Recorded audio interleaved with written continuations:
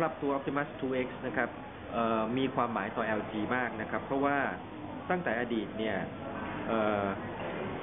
จุดอ่อนอันหนึ่งของ LG เนี่ยก็คือว่าเราเป็นบริษัทผู้ผลิตโทรศัพท์มือถือนะครับ ซึ่ง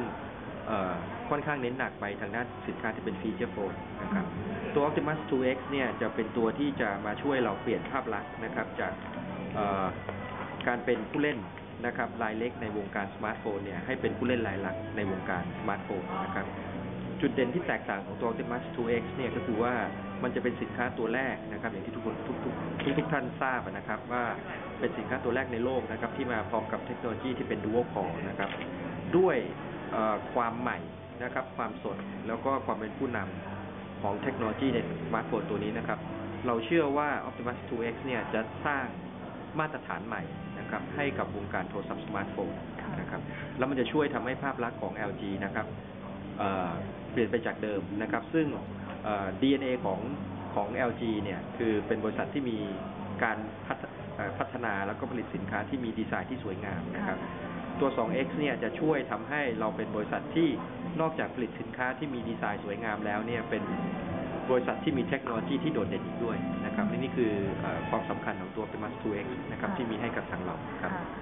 สินค้าตัวแรกนะครับในวงการสมาร์ทโฟนที่ทำทำชื่อเสียงให้กับเรานะครับก็คือตัวที่เป็นเอ่อเราใช้ชื่อว่า Optimus One ค่ะนะครับซึ่งสามารถสร้างเอ่อ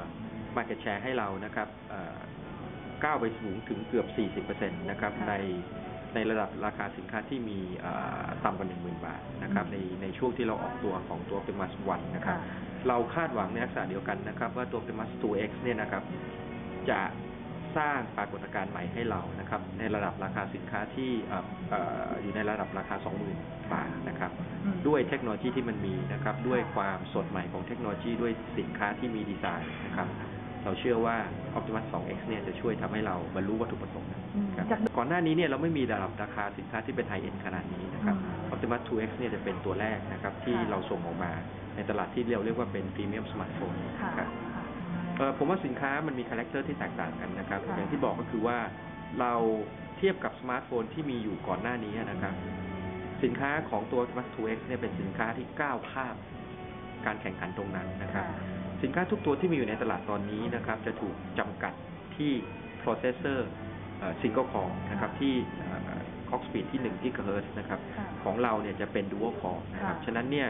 เรากล้าพูดได้เลยนะครับในวันนี้ว่าสินค้าที่มีในตลาดทั้งหมดในวันนี้เนี่ย Optimus 2X เนี่ยเป็นตัวที่แรงและเร็วที่สุดค่ะ ในโทรศัพท์สมาร์ทโฟนทั้งหมดที่มีอยู่ครับค่ะเอ่อหลังจากนี้นะครับเอ่อเรามีการเตรียมการนะครับ เพราะเราเชื่อว่าด้วยมาตรฐานที่เราสร้างขึ้นนะครับ ในการใช้ dual core processor เนี่ยนะครับ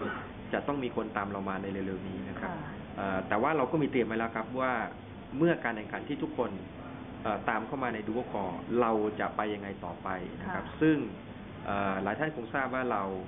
จริงๆ เราได้ทำการเปิดตัวไปแล้วนะครับที่ที่ ที่เมืองนอกค่ะนะครับในแง่ของการแนะนำเข้าสู่ตลาดก็คือ เราจะไปที่เทคโนโลยีของ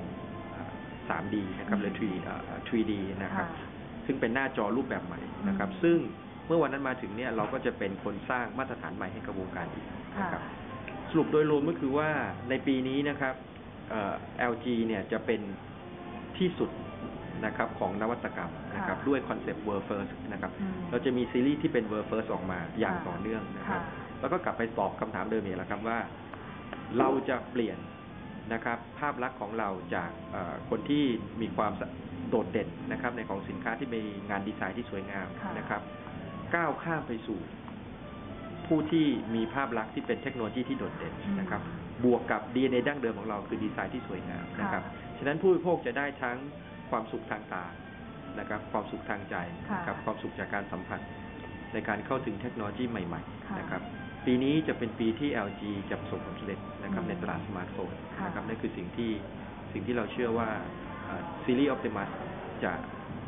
นำความสำเร็จมาให้เรานะครับ เริ่มตั้งแต่ 2X ค่ะนะครับค่ะเราจะเป็นซีรีส์ออกมานะครับ ซึ่งอย่างที่เรียนนะฮะก็คือว่าเราคาดว่าในซีรีส์ที่เป็น 20,000 บาทขึ้นไปเนี่ย เราน่าจะมีสัดส่วนการตลาดที่เอ่อประมาณสัก 15%นะครับอืมด้วย